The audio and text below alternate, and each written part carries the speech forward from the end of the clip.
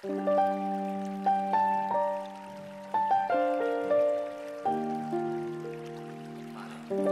sí, ya estamos, ya estamos en directo. Bueno, Enrique, Enrique Moya, eh, muchísimas gracias por lo primero. Quiero darte las gracias por, por estar aquí, ¿no? Por, por dedicarnos este tiempo aquí en, en el canal de Andrés Espinosa Eventos.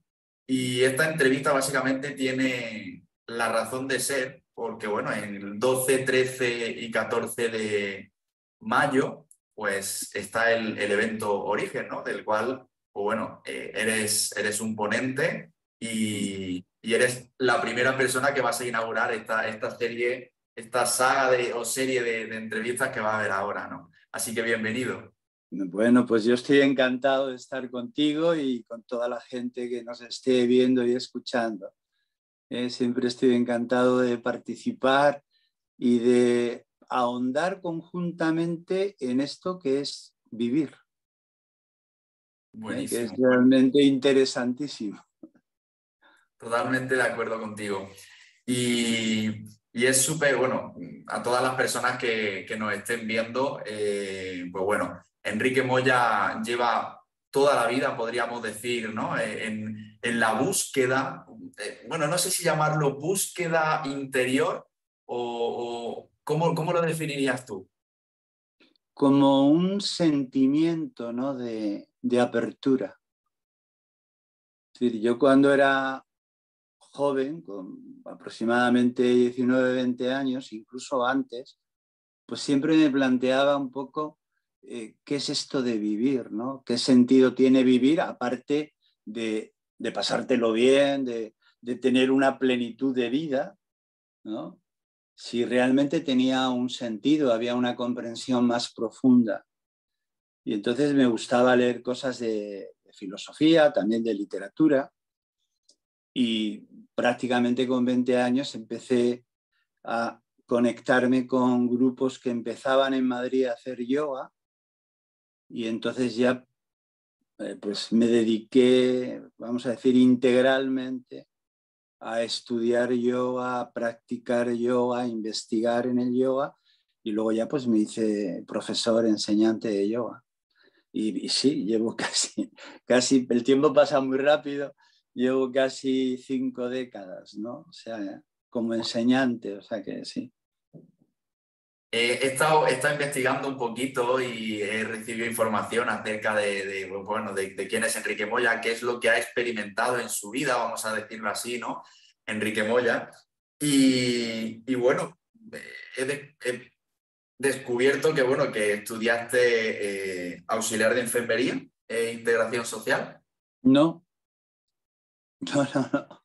Eso ha sido que se ha colado algo. Yo he estudiado vale. economía y psicología, cursos universitarios, pero siempre cuando iba a empezar tercero o al final de segundo lo dejaba. Es decir, lo primero que hice fue entrar en económicas, en la rama de empresariales que me gustaba, pero bueno, eh, ya empezó a entrar el yoga y, y lo dejé.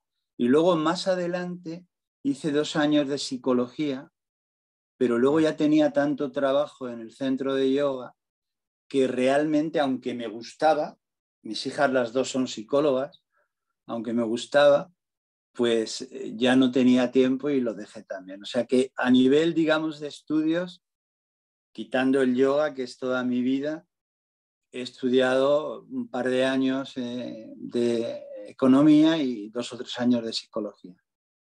O sea que auxiliar de enfermería no. Eso debe no. ser otro Enrique Moya. vale. Y, y, me gustaría hacerte una pregunta. ¿Qué es lo que, que, cuál fue, vamos a decirlo así, el conflicto que pudo haber o qué pasó para que Enrique Moya con 19 o 20 años eh, realizara esa, esa, búsqueda o que empezaras en todo, en, en todo este mundo, por decir así? Pues lo que te decía un poco antes, ¿no? O sea, yo me hacía muchos, muchas preguntas. Siempre, ¿no? Sí. Como mi familia tenía una bodega justo debajo de mi casa, pues entonces yo estaba mucho tiempo en la bodega de mi padre. Entonces, pues miraba a la gente entrar una bodega o una tienda, como diría Gurdjieff, es un sitio especialísimo para ver el alma universal, el alma humana, pero de distintos seres humanos. Entonces, claro, yo veía que mi padre, aparte de despachar el vino, el sifón o, la casera, lo que, pues le hablaban, una persona le comentaba que estaba muy bien, que estaba detrás de un negocio, otra persona que estaba muy mal. Y claro, te hablo, pues yo tendría entonces mm, ocho o nueve años. Y yo decía, qué curioso, ¿no? Cada ser humano depende de la historia interna que tiene, pues tiene como un, tipo de experiencia en la vida. Me he dado cuenta de que la experiencia del vivir es muy interdimensional. depende de donde uno esté situado, tiene una experiencia de vida. Entonces, eso siempre me acompañó. Aunque vivía en un sitio donde podías, gracias a Dios, que era como un barrio en el entonces Radio de Madrid, y podías disfrutar de vivir, porque había campo. Yo de vez en cuando me quedaba siempre observando, era un poco un observador, ¿no? Y eso me ha llevado un poco a investigar. Qué bueno. ¿Y qué ha sido desde, desde ese momento, qué ha sido lo, lo, que, lo que más te ha costado, por decir así, mm, superar o reconocer o descubrir? Y, y pues bueno, básicamente esa sería la pregunta. Sí, no sé lo que más, porque no, no me veo yo así en términos de ver cuál ha sido la mayor, vamos a decir, o dificultad o conflicto o, estímulo, ¿no? De, sino que yo me he dado cuenta de que depende de donde tú te sitúas, aparece un tipo de vida. Y entonces eso me ha llamado siempre mucho la atención. Como una persona con un cambio anímico, pues está teniendo una experiencia, evidentemente, completamente distinta a cuando el estado anímico tiene otro color. Entonces yo ya me planteaba, leyendo algún libro de filosofía, si eso era normal o eso era debido a una serie de mecanicidad en la que los seres humanos estamos metidos. Y ahí pues empieza toda una investigación. Cuando tú te acercas al yoga, el yoga es tan extenso, tan profundo, que de pronto yo dije, bueno, aquí hay, digamos, respuestas para todo. Y entonces, pues ya empecé, claro, dejé los estudios, empecé a meterme en clases de yoga, a investigar, a hacer viajes, a hacer formaciones y, a investigar. Ha estado, ha estado también, bueno, viajando por, por la India, ¿verdad? En la India he estado solamente una vez hice un viaje con mi amigo Danilo Hernández, que es también un profesor de yoga de los, de los pioneros del yoga en España. Y fue en 1990 y fue un mes y fue una experiencia preciosa. Pero yo soy muy poco, vamos a decir, entre comillas, folclórico. Es decir, me encanta India, a mi hija Diana le encanta la India, y, pero yo lo que quiero es eh, ver si realmente hay un conocimiento profundo que le sirva a cualquier ser humano, sin tener necesidad de peregrinar a un sitio especial o a un país especial o a un lugar geográfico exclusivo, ¿no? Ahora, ahora que has dicho eso, es verdad que existe como, como entre Oriente y Occidente, ¿no? Como que unos son un poco más espirituales, otros son más, eh, bueno, menos espirituales, más materialistas, ¿no? ¿Cómo, ¿Cómo se llega a mezclar lo espiritual con, con lo material? ¿Cómo, ¿Cómo, se puede, cómo se puede cómo se concilia, ¿no? Vamos a decir, cómo conciliamos lo espiritual con lo material. Eh, ¿Hay que desechar al completo lo material? ¿Hay que eh, centrarse en lo material o en lo espiritual? Para nada, yo diría que hay que integrar. O sea, la palabra integrar es importantísima. Si tú piensas que nuestro cuerpo es una obra de integración. Claro, es decir, El hígado es mucho más que las células hepáticas. Es más. Pero el hígado para ser hígado no destroza las células hepáticas. Entonces, el sistema digestivo es más que el hígado, pero no se carga al hígado. Es decir, esa frase de al César lo que es del César y a Dios lo que es de Dios, lo que te dice es, tú tienes una vida que también es una vida, vamos a decirlo, material, animal, eh, psicosomática. Tú tienes que sacar adelante las fuerzas que te conectan con la vida. Pero si solamente te quedas ahí, pues podrás tener una experiencia más o menos plena en el vivir. Hay un momento en el que tú te planteas, bueno, ¿y todo esto de dónde surge? ¿Todo esto para qué? ¿Todo esto por qué? Y cuando empiezas como a plantearte el mundo espiritual, es sabiendo ordenar bien tu mundo material, tu mundo afectivo, tu mundo de relaciones. Es decir, lo espiritual es como una integración de todos los niveles que hay en nosotros. No hace falta, como, como a, veces hemos leído, maltratar al cuerpo para ser espiritual. No hace falta vivir como una anacoreta o como un ermitaño para ser espiritual. Ya sé que esto a la gente, no, para nada. O sea, ¿cómo, cómo vas a maltratar el cuerpo? Imposible. ¿Cómo para ser espiritual te vas a alejar de un mundo relacional? Si ser espiritual es ir abriéndote más. Entonces, cuando tú controlas tu corporeidad, cuando la tratas bien, cuando la cuidas, cuando tú eh, entiendes tu mundo relacional y lo importantísimo que es, entonces casi lo espiritual va apareciendo, porque el gran impedimento para lo que llamamos la experiencia espiritual, el, gran impedimento, a mi manera de entender, es la total identificación con una corporeidad separada y con un nombre. Entonces, la gente que está muy desconectada es porque piensa que es un cuerpo, porque no tiene nada que ver con nada, que pasa por aquí y que tiene un nombre, eh, que ese nombre se apoya en experiencias vividas ¿Y, qué es eso? Claro, eso es lo que te impide abrirte sanamente y verdaderamente. Entonces, por ejemplo, cuando una persona dice, eh, por ejemplo, yo además de Enrique y de esta forma, pues yo soy padre, soy pareja, soy abuelo, soy amigo, soy vecino, soy habitante de Málaga. Y eso sin darte cuenta te da como una amplitud más allá de la forma. Pasar de esa amplitud a lo que llamaríamos la espaciosidad espiritual es más fácil que luchando. Lo material por un lado y lo espiritual por otro lado. Entonces, claro que es verdad que si te quedas demasiado metido en el mundo de lo placentero, solo de los bienes espirituales o de las gratificaciones sensoriales, en el fondo es que te cierras demasiado a la forma. Ese sería como un punto clave. Muy bueno, muy interesante. Ahora que has dicho eso del espíritu, ¿no?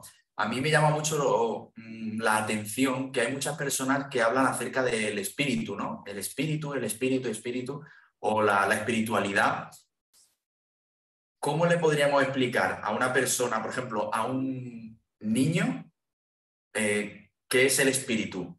¿O qué es ser espiritual? ¿O qué, es, o qué son los seres espirituales? Bueno, un niño está desarrollando el mundo motor y el mundo afectivo. Yo, por ejemplo, cuando me dicen eh, alumnos míos que igual ya son profesores, pues yo ahora tengo un grupo de niños y les pongo, yo no te creas que soy muy partidario porque tiene que llegar un momento cuando tú agotas el mundo motor, el mundo de investigación, el mundo de aventura, el mundo sensorial, placentero, casi naturalmente, si el desarrollo es tiene una cierta armonía, te das cuenta de que hay algo en ti que no cambia. Es tú. Hoy tengo un humor distinto que ayer. Un humor distinto. Hoy no me duele ninguna parte del cuerpo y hace 30 días me dolía una parte del cuerpo. Pero hay un ser, que es muy bonita la palabra ser, hay una presencia de ser que no es nada callado ni amorfo, sino que se abre lumínicamente a la vida, que parece que está siempre conmigo. Cuando me duele la cabeza, cuando tengo mal humor, cuando tengo buen humor, eso que siempre está contigo es lo que llamamos espiritual o espíritu. Eso que siempre está contigo y que se abre a tocar la vida. Eso es el espíritu utiliza, utiliza conceptos que de verdad te, como, como tú dices, ¿no? Te hacen, te hacen reflexionar y te hacen estar presente. Y, eso me llama mucho la atención y me gusta, ¿no? Me gusta que se utilicen, porque al final la mente sabemos que, siempre necesita esos conceptos, ¿no? Conceptos para encasillar, poner y demás. Bueno, No, la, la, mente, como estábamos hablando antes, un poquito la mente, dice la, la mente genera información, genera opinión, genera imágenes. Pero ¿cómo voy a ser yo? Si yo soy, digamos, la dimensión donde ese generar sucede. Yo un día con una persona que era muy graciosa, porque es una persona muy interesante, ya no vive, una persona, vamos a decir, muy agnóstica, muy cerrada en, en, en la filosofía, pero a nivel de quitar todo lo que puede ser espiritual. Y un día le digo, mira, el conocer, que es la luz del ser, no es pensar. Cuando yo pienso, mi conocer está, pero cuando no hay pensamientos, mi conocer sigue. El pensar, el generar el, eh, las voces internas no puede, tal. Todo eso es, digamos, la herramienta de la mente para entender la vida. Pero no eres tú. Es el sistema operativo de que tiene esta estructura para entender la vida. Es decir, pensar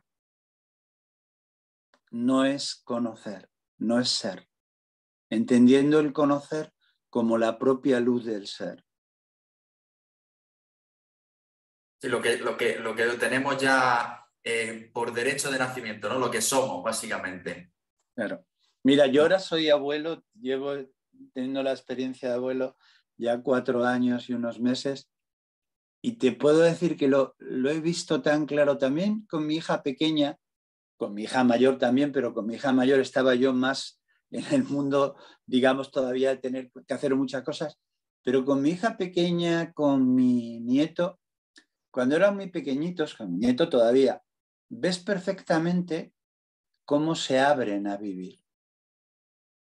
Notas esa apertura y luego están los códigos, pues han aprendido que hay que jugar al fútbol, no sé. Pero esa apertura que tiene un niño, cuando tú ves con un niño que te mira, no te está juzgando, no, no ve nada divisivo, eh, te está casi hermanándose contigo. Y eso se nota mucho, por ejemplo, cuando los niños son muy pequeños. Esa sensación que te decía antes de abrirte desde el ser a través de la luz del conocer, te abres a vivenciar esta experiencia que es la que toca, que es la que nos toca ahora. Buenísimo, interesante. Vamos, podría, podría estar escuchándote así hablando todo, todo el rato. Bueno, eso porque estamos en sintonía, como, ¿sabes? Estamos interesados por lo mismo. Fuiste, bueno, sí, fuiste básicamente pionero en, Málaga, ¿verdad? En, el yoga. Sí. Empezaste, empezaste en los años 80, ya no quiero tampoco decir, ¿no? Sí, en el 78, aquí en Málaga. Vale. Y me gustaría hacerte una pregunta. ¿Has visto el cambio de conciencia en la población? ¿Ha, habido un cambio de conciencia desde, desde, que empezaste en los años 80 eh, hasta en el 2023 en el que nos encontramos? Ese, ese despertar de conciencia en las personas, eh, ¿lo has notado? Has, aparte de que has aportado muchísimo, estoy seguro que has aportado muchísimo en, ese, en elevar el, la conciencia de la población, pero ¿qué has notado en ese cambio? Bueno, he notado dos cosas, una muy, muy buena y otra no tan buena. La que es muy buena es, por ejemplo, cuando Danilo y yo empezábamos a dar charlas, yo me acuerdo que íbamos por pueblos alrededores de Madrid, te hablo 75, 1975. Explicar lo que era el yoga era muy complejo. La gente se creía que yo era kung fu y que íbamos Danilo y yo como si fuésemos o que éramos gente muy rara, de, vosotros sois de Oselín o, de, o sois del monasterio no sé qué. En fin, ¿no? Oselín no, que Oselín es una cosa de las Alpujarras, Saolín, ¿no? El monasterio Saolín. Y de pronto, no, no, nosotros hacemos yoga. ¿Y para qué hacéis yoga? Entonces teníamos que explicar. Pues para sentirte bien en tu cuerpo, sentirte bien en tu mundo de relaciones y para ahondar en la vida. Y entonces todas las propuestas que os hagamos tienen un poco esa, digamos a decirlo, dirección. Entonces, antes tenías que explicar mucho qué no era el yoga. Y hoy, gracias a Dios, el yoga se asocia a una cosa, salud y profundidad. Pero como yo digo en mi libro, siempre de la mano de un buen enseñante.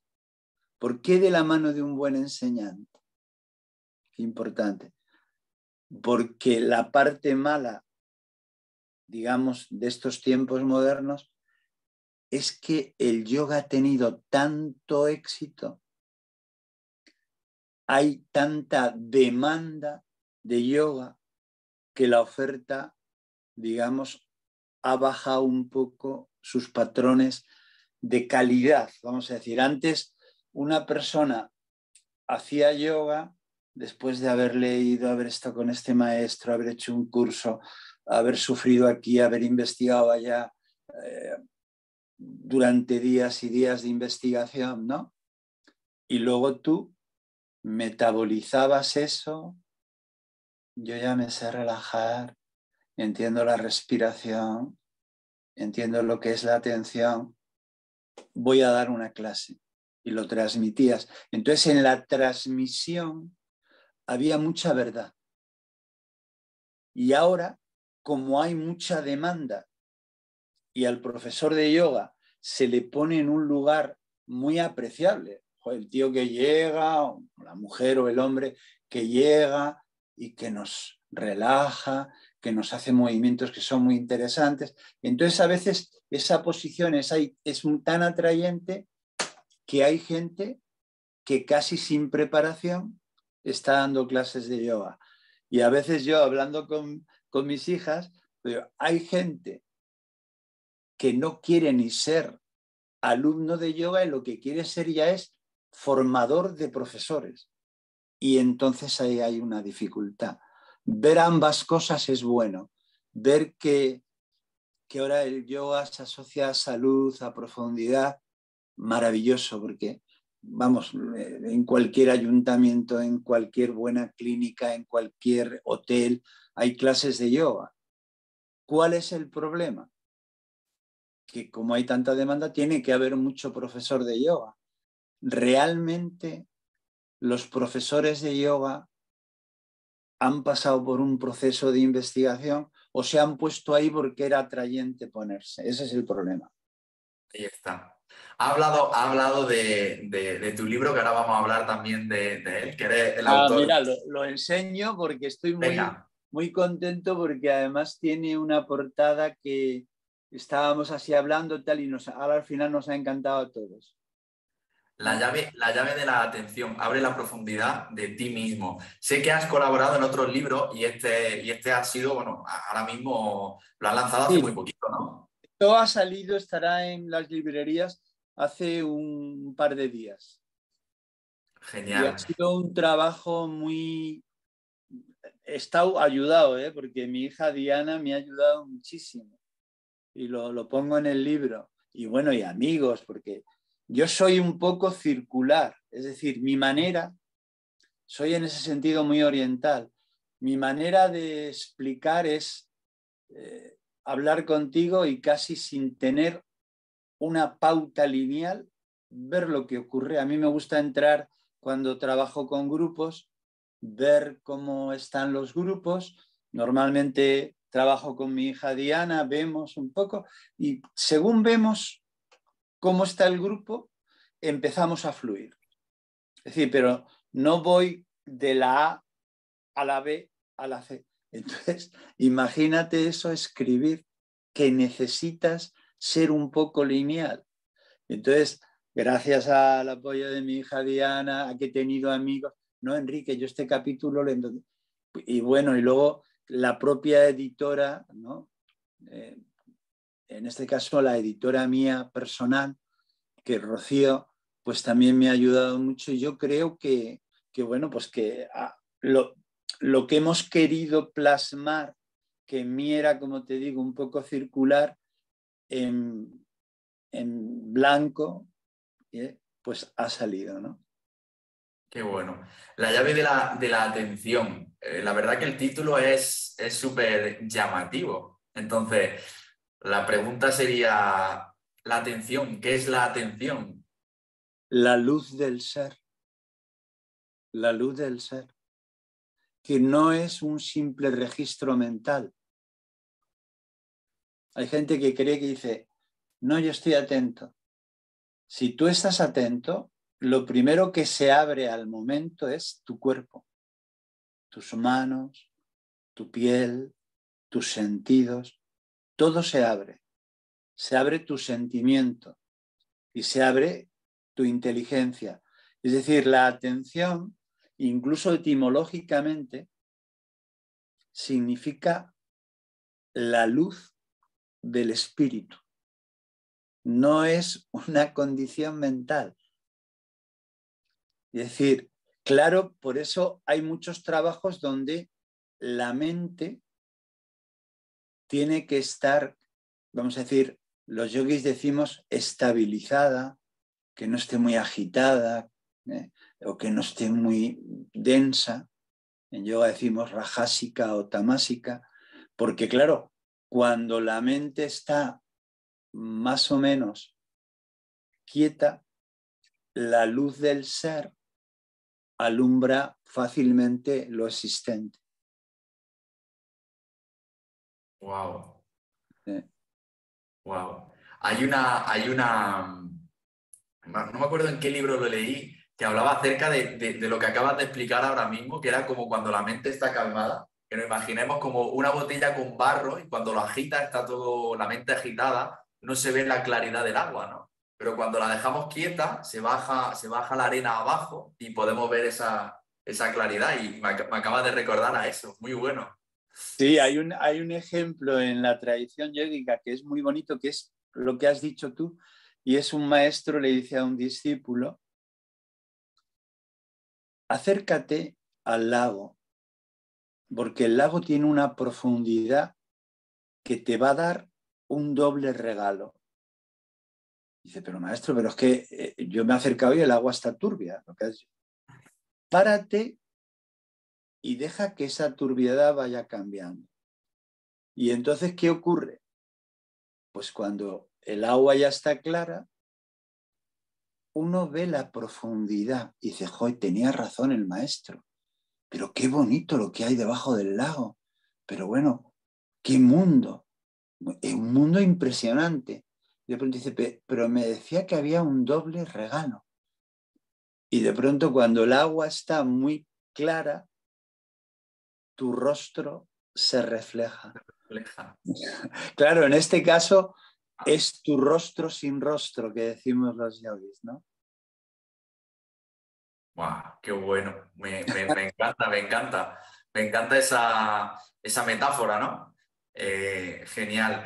me gustaría también hacerte una, pregunta muy interesante, porque antes también has hablado acerca de, de la respiración. Y me gustaría hacerte la pregunta tanto, o sea, ¿cuán importante es una respiración correcta a nivel energético, a nivel biológico, a nivel pues, del cuerpo físico? Fundamental, porque los yogis decimos que la respiración es la primera y primordial función. Es decir, tú y yo podemos estar un tiempo sin dormir, sin comer, incluso sin beber, pero sin respirar nada, pocos minutos porque enseguida habría un daño en nuestras células que ya no podríamos seguir la vida tal y como la entendemos. Entonces la respiración es fundamental porque es el vehículo de relación entre la atmósfera terrestre y mi atmósfera pulmonar. O sea, cuando yo respiro, me vinculo con la atmósfera terrestre y por vasos comunicantes, por diferencia de presiones, el aire entra en mis pulmones y el aire sale de mis pulmones. Entonces, cuando esa relación es plena, y ahí es la importancia de, mover el diafragma, digo plena porque el diafragma permite que el pulmón en su base, que es la zona donde hay más volumen, se pueda realmente abrir. Cuando hay una respiración plena, esto ya se sabe, el sistema neurovegetativo entra como en balance y tú te empiezas a sentir a gusto. Y entonces estés donde estés, a través de la respiración, has empezado a sentirte bien. Si estabas con un grupo de amigos, comiendo, estudiando, dices, ¿puede tener tanta fuerza? Sí, porque cuando ese vínculo que se da siempre, pero no es pleno, entonces yo respiro más para sobrevivir que para tener una experiencia, vamos a decir, profunda de vida. Y entonces, bueno, estoy respirando para, para sobrevivir, pero entonces no hay balance neurovegetativo. Y hoy en día, con este mundo en el que todos estamos como tan estimulados con puedes hacer esto, puedes hacer, el balance se pierde y la mayoría de la gente o respira o, respira agitadamente. Por eso las prácticas de respiración son importantísimas en el yoga, muy importantes. Y si, y si aparte de utilizar la respiración, como pasa en el yoga, de manera consciente, estando presente, eh, haciéndolo de una respiración diafragmática, lo complementamos con una postura corporal adecuada. Fundamental. Porque el cuerpo también, el cuerpo también, o sea, el cuerpo también, tal y como nosotros estamos, depende de cómo nos pongamos, pues eh, vamos, vamos a, a, sentir una cosa, vamos a transmitir una cosa, ¿no? Pero bueno, una pregunta preciosa, porque nosotros, a través de la herencia genética y de nuestra experiencia aprendida, lo que nuestro aprendizaje, tenemos un gesto corporal, un gesto. Y ese gesto corporal, como decía uno de mis maestros, John Pierracos, a veces es más una coraza para sobrevivir que realmente un gesto para vivirte. Entonces, todo el yoga, más físico, lo que conocemos como asanas o asanas, tienen la función de que ese gesto no se cronifique. Fíjate qué función más importante. Claro que la mente occidental dice, pero bueno, estoy, tengo el músculo más fuerte, más, más largo. Eh, eh, el yoga da mucha esbeltez, la verdad. Y uy, pues me pongo más esbelto. Sí, pero eso es, eso es como la cascarilla, es importante pero es la cascarilla, que los músculos y las articulaciones estén bien es importantísimo. Pero es que tú estás evitando, a través de las prácticas de las asanas, tú estás evitando que se cronifique un gesto. Porque ese gesto cuando ya está muy cronificado, pues a veces ya resulta que el cuerpo empieza a ser un poco una rémora para vivir y no un instrumento de vida, ¿no? Entonces las, las posturas son fundamentales. Nosotros decimos mucho eh, disfrutar, daros cuenta, eh, se puede ser intenso, se puede ser muy preciso en la práctica, pero vamos a disfrutar y a ser amables con el cuerpo, porque estamos haciendo un trabajo que va un poco más allá de lo musculoesquelético. Muy bueno, muy, muy interesante, muy interesante. ¿Todo, todo esto lo desarrolla, lo desarrolla también en, tu libro? Bueno, el libro es más sobre, digamos, no hablo tanto, eso está, estamos viendo de hacer una cosa a nivel física, pero el libro es más explicar un poco el lío del ser humano, por qué nos liamos, donde el tiempo de crianza y educación es fundamental. Entonces, una vez que estamos muy liados, ¿cómo poder desliarnos? ¿no? Un poco eso.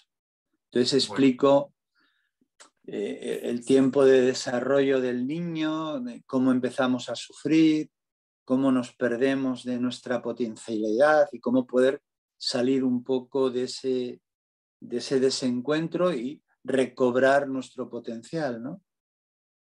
Muy bueno. Ha hablado acerca de algo que, que a mí me, llama mucho la atención y es verdad que, siempre me ha llamado mucho la atención y es del tiempo. Y, creo que se habla mucho acerca de la eh, dilatación, ¿no? Dilatar el tiempo, ¿no? Que se puede hacer a, pues, porque normalmente la mayoría de las personas siempre estamos constantemente diciendo, no tengo tiempo para hacer esto, el tiempo vuela, ¿no? Vuela, ¿por qué, ¿por qué cuando estamos tristes el tiempo pasa muy lento y cuando estamos felices el tiempo pasa muy rápido? Sí, quizá porque realmente lo que nos ocurre es que cuando estamos en un momento de sufrimiento, estamos en una espera. Y entonces lo que dilata, hace que el tiempo parezca que va más lento, es que nosotros esperamos que la vida nos traiga otra cosa. ¿Sabes? Entonces, claro, eh, cuando estás sufriendo, uff, 10 minutos parecen 10 horas. Y cuando estás pasándotelo muy bien, tienes tantas ganas de abrazar eso que parece que corre. Pero también es porque metes una, o sea, tú querrías paralizarlo y entonces te da la sensación de que corre. Cuando lo estás pasando mal, tú querrías empujar al tiempo y te parece que va lento. Cuando tú no interfieres, entonces vives en una, digamos, en un no tiempo. Hay, hay, un, tiempo, hay un tiempo de reloj, pero hay, hay un no no tiempo.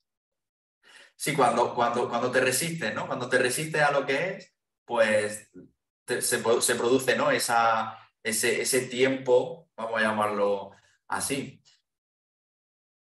Sí, bueno, Pues, pues, a ver, son ya, llevamos ya más de media hora. Yo sé que, que, eres una persona que tiene muchas cosas que hacer y, me ha encantado verte, o sea, conocerte, hacer la entrevista contigo, hablar un poquito, conocerte un poquito más. Eh, ojalá en algún momento podamos hacer una, entrevista un poco más extendida y demás. ¿Dónde la gente creo que en origen, en origen nos veremos. ¿eh? en el encuentro de origen en mayo, ¿no? Porque además eh, va gente, algunos los conozco, gente muy interesante y me imagino que estarás por allí. Y si no antes, el centro de yoga nuestro lleva 40 años abierto en la Malagueta, en el mismo sitio. O sea que puedes pasarte un día a vernos, a tomar una clase o a estar sencillamente con nosotros y tomar eh, cualquier cosa, un aperitivo o lo que sea nos veremos seguramente por allí por, por origen, porque bueno, al final eh, el origen de, todo esto está siendo, está siendo el propio evento de origen que se, que se va a hacer en, en Málaga, Benalmádena, Málaga, el 12, 13 y 14 de mayo, que tú estarás allí con nosotros. Eh, una, una, charla que sé que va a ser súper interesante, que estoy deseando de, ver ya. Y, bueno, ¿dónde la gente puede conseguir, conseguir tu, nuevo libro? Bueno, ahora está ya en todas las librerías.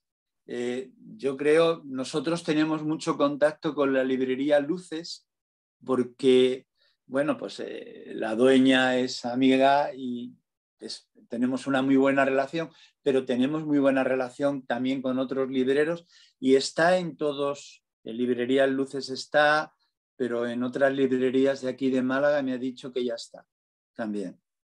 Buenísimo. En físico, ¿no? En todo, todo, todo en físico, porque en digital, en digital no está.